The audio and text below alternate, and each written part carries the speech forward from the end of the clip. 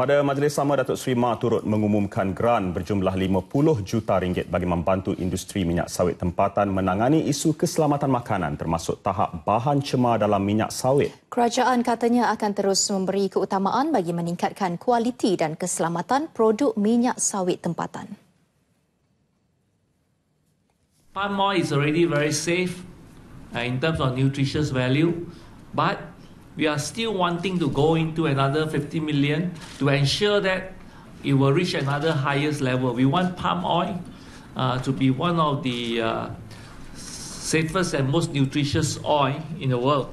Okay, so this 50 million is to facilitate stakeholders such as palm oil mill and refineries to do more R&D Permohonan bagi geran ini dibuka mulai hari ini kepada syarikat-syarikat Malaysia. Ditanya mengenai unjuran harga minyak sawit mentah tahun ini, Datuk Seri Mah yakin ia mampu mencapai harga purata sekitar RM2,700 hingga RM2,800 setan metrik. Kerajaan juga meletakkan sasaran nilai ekspor bagi minyak sawit dan produk berasaskan minyak sawit sebanyak 70 bilion tahun ini berbanding 67 bilion ringgit pada 2016.